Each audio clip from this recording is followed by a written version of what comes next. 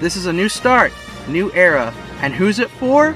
The Captain, of course. Written by Stan the Man Lee, art by Jack the King Kirby, inked by Chic Stone, and lettered by Sam Rosen. After making his reintroduction in Avengers number 4 and Tales of Suspense number 58, the second story in Tales of Suspense number 59 is the first solo Captain America adventure since the mid 50s. It's Captain America's turn for watch duty at Avengers Mansion, with his only company being Jarvis. Meanwhile, a local mob wants to raid Avengers Mansion for information to sell, believing that Captain America is someone they can handle with ease. Captain America, in just 10 pages, is given quite a bit of depth and a lot to work with from a character standpoint for future stories, from not living in the same era as before to his best friend Bucky being dead. There's emotional weight conveyed in the first couple of pages. The art is great as always as Jack Kirby penciled the artwork. Nothing but the best from the king himself. Outstanding work all around from quiet moments to action packed illustrations.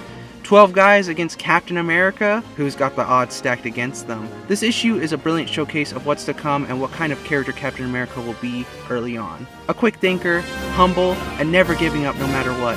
This issue is a great example of why he's one of my favorite superheroes. I'm Lino Mars of the MCA Productions crew, and until next time, true believers and newcomers alike. Eggs! Excelsior!